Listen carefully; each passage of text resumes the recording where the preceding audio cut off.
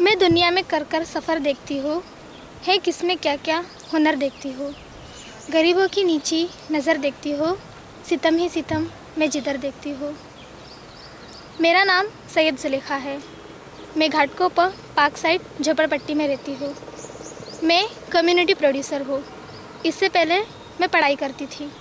मेरी फैमिली में मेरी मम्मा और नानी हैं। मेरी मम्मा ने घर काम करके मेरी परवरिश की है। इतनी कठिनाइयों में से मैं आई हूँ कि जब मैं छोटी थी तो मेरे घर में खाना नहीं रहता था।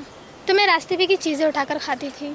घर में लाइट नहीं थी तो दिए जलाकर पढ़ाई करती थी। घर के छत ठीक नहीं थे तो बारिश में पानी आते थे। मेरी मम्मा की आर्थिक स्थिति खराब होने के बावजूद भी मेरी मम्मा का ज़्यादा ध्यान स्कूल की फ़ीस भरने में रहता था और घर के कामों में कम। मैंने कभी मेरे फ्रेंड्स लोगों को भी घर में नहीं बुलाया है, क्योंकि उन लोगों के घर मॉडल टाइप जैसे थे।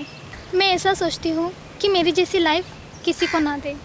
अगर दे तो हमारी आवाज़ कम्युनिटी वीडियो यूनिट ज़रूर दे, ताकि वो अपनी ज़िंदगी हँसते, खेलते, सीखते हुए बिता सके मेरी तरह। आप सभी को मेरी तरफ़ से ढेर सारा प्यार।